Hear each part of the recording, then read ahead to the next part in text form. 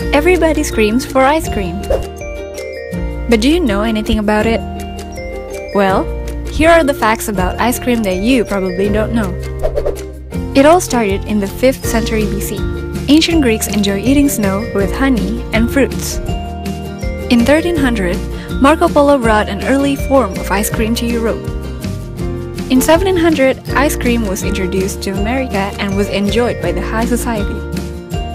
In 1880s, the ice cream sundae was born. During 1940, the first ice cream cone was produced.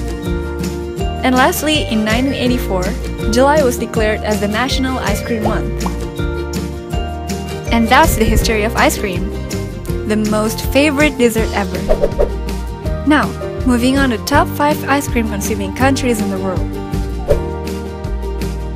New Zealand, United States, Australia, Finland, and Sweden.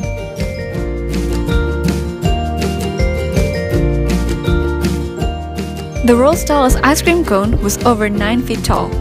It was scooped in Italy. Most of the vanilla used to make ice cream comes from Indonesia and Madagascar. It takes about 50 licks to finish a single scoop of ice cream cone.